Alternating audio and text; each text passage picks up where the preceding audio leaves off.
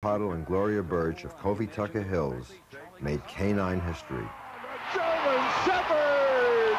The German Shepherd is won! The house is coming down! The breeders are here! The breeders of this fine dog are here.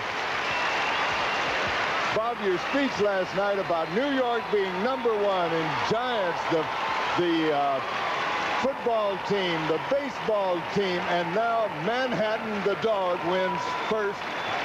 Number one. Eh? Manhattan is on the map as Manhattan. champion Covy Tucker Hills. Manhattan is the winner. New York, New York. Oh, and- look at the dog. He knows he's done it, see? A German Shepherd had never won before at Westminster This is history.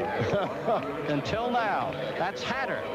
the Hatter, Manhattan. Covy, Tucker Hills, Manhattan. Handled by Jim Moses, owned by Shirley Braunstein of North Woodmere, Long Island, and Jane Firestone of Southern Pines, North Carolina. A repeat best of group winner. For the third year in a row last year, paced the herding division with 73 blue rosettes. Second among winners in American dog show history. As we said, the 1985 winner, the Scottish Terrier champion Braeburn's Close Encounter, was retired after her 200th top award, the most in American dog show history, although back once again, Close Encounter is active, has won again.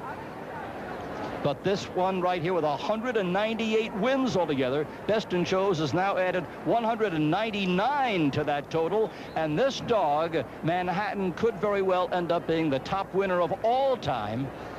And you've seen it right here, a very exciting moment.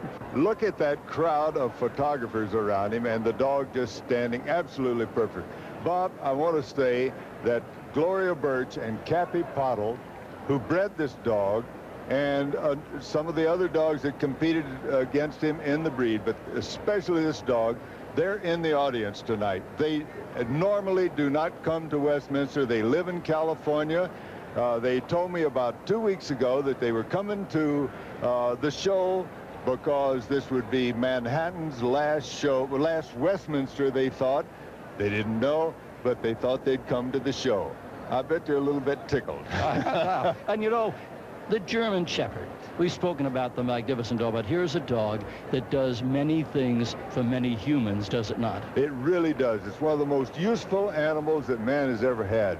I went to uh, the uh, Association of, of, of Obedience Clubs uh, dinner, a party, or uh, gathering over in the ho hotel this afternoon, and one of the top trainers of dogs in the world told me that the German Shepherd is the best tracker.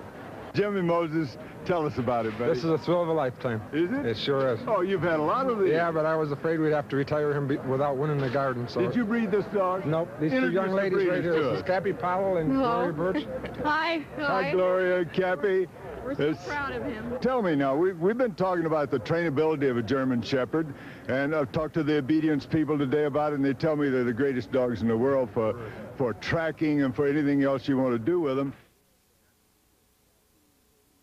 Manhattan's achievements were 201 best in shows, 335 first in groups, and 41 group placements. Hatter is the only dog who has twice been a Quaker Oats winner and Dog of the Year. He is the second top winning dog among all breeds in the history of the American Kennel Club.